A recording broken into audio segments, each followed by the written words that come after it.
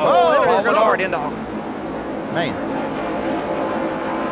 And more trouble as he comes down the track, and they're stacking up behind him. there's Mark Green involved in the 70.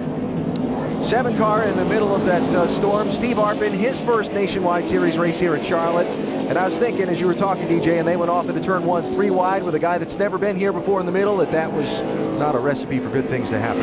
Mike Wallace going up. Yeah. And that's the kind of things when you're racing, you have to know who you're racing around and with. And, you know, they put him in a bad position there. I don't think that Steve Arpin did anything wrong. He was just getting back to the bottom of the racetrack.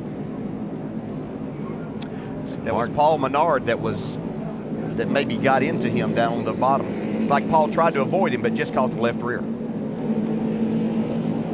Well, focus on the three wide going off into the corner.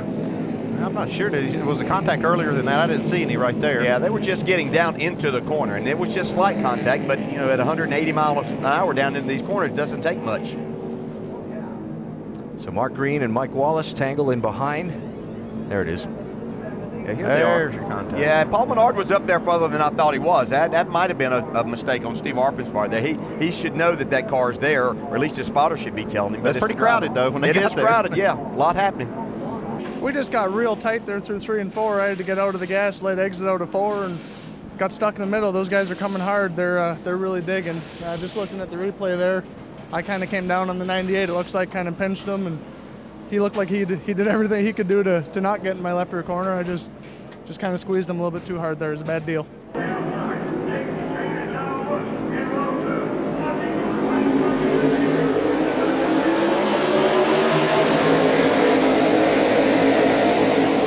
Brian Scott having trouble getting going, oh. and it's going to cause trouble. Annett spins around. Another spin behind him. Looks like Stenhouse is Oh, involved. boy. He's the second car of the week for him.